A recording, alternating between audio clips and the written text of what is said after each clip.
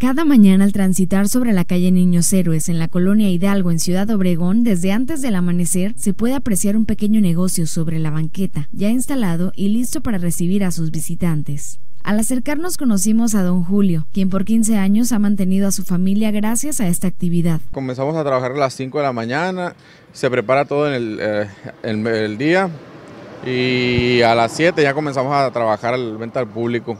El camino no ha sido fácil, ya que cuando empezaron solo vendían burritos, pero al ver la aceptación de la gente, agregaron tacos diversos, siendo un éxito total. Y a pesar de los días malos, siempre ha habido algo que los motiva a salir adelante. La motivación es de que, pues, pues uno tiene familia, no tiene que sacar a la familia adelante. Este, el negocio, pues, de, eso que se mantiene uno, pues, eh, yo es de lo que, de lo que vivo y, y es, no es esperarse, o sea, este, es, es nomás salir a trabajar todos los días en la mañana y, y, esperando que sea mejor cada día. Y así han permanecido por una década y media, madrugando y siendo un ejemplo de esfuerzo, dedicación y disciplina.